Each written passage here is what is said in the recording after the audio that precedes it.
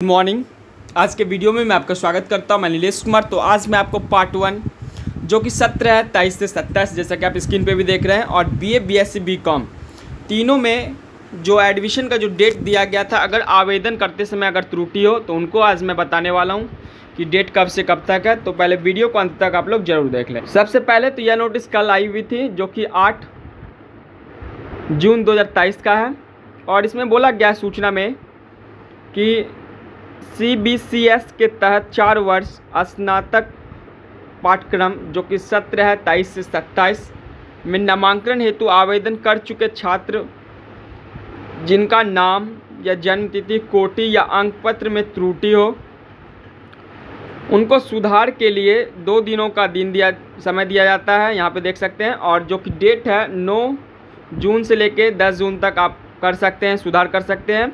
और छात्र अपने पोर्टल पर वांछित सुधार कर सकते हैं और इसके बाद जो है, छात्रों को त्रुटि रह जाने पर कोई भी मौका नहीं दिया जाएगा, कुलपति आदेश के आदेशानुसार। तो इसका मतलब यह हुआ कि जो भी छात्र इस बार फॉर्म अप्लाई किए हैं पार्ट वन में, जो कि चार वर्ष हो चुका है, जो कि सत्रह, तेईस से सत्ताईस है, और आवेदन करते समय अगर आपका जन्म तिथि या नाम में या कास्ट में या अंक पत्र में त्रुटि हो तो उसको सुधार कर सकते हैं। सुधार के लिए मौका दिया गया है। यहाँ पे जो डेट है, नौ से लेकर दस तक आप सुधार कर सकते हैं। जो कि छात्र पोर्टल पर लॉगिन करके आप इसको सुधार कर लीजिएगा। जो भी स्टूडेंट्स का अगर त्रुटि रह गई हो तो आप सुधार ज़रूर कर लें। उसके बाद आपको मौका नहीं दिया जाएगा। और वीडियो इन्फॉर्मेटिव लगी हो तो प्लीज़ लाइक कर दें शेयर कर दें एंड सब्सक्राइब ज़रूर करें। धन्यवाद।